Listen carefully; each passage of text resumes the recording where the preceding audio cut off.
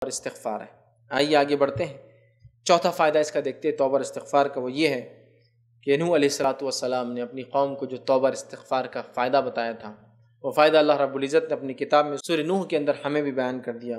اور اللہ فرماتا ہے سور نوح آیت نمبر جو ہے دس، گیارہ اور بارہ میں اللہ فرماتا ہے کہتا ہے، نوح علیہ السلام نے اپنی قوم سے کہا خل تستغفر رب ربکم انہ کان غفارا۔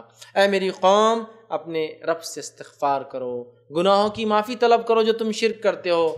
تم یقیناً جو ہے اپنے رب کو انہ کان غفارا، معاف کرنے والا پاؤں گے۔ یرسل السماء علیکم مدرارا۔ اگر تم توبہ استغفار کرو گے، رب تمہیں معاف کریں گا۔ اور آسمان سے موسلا دھار آسمان سے نفع بخش، آسمان سے مسلسل چلنے والی نفع بخش بارش تمہارے لیے برسائیں۔ یورسلی السماء علیکم مدرارا، تمہارے لیے موسلا دھار کنٹینیوسلی بینیفیشل فائدے مند۔ اس لیے کہ کنٹینیوس زیادہ بارش بھی نقصان دہ ہوتی۔